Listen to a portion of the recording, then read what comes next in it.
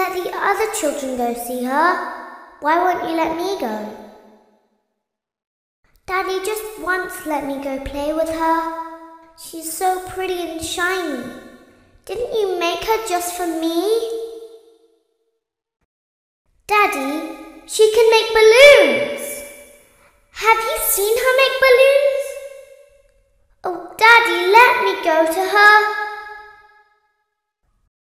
Daddy isn't watching.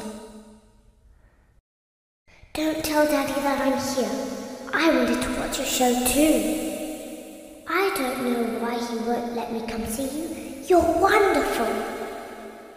Where did the other children go? I know it was an accident. Isn't this why you came here? To be with me again.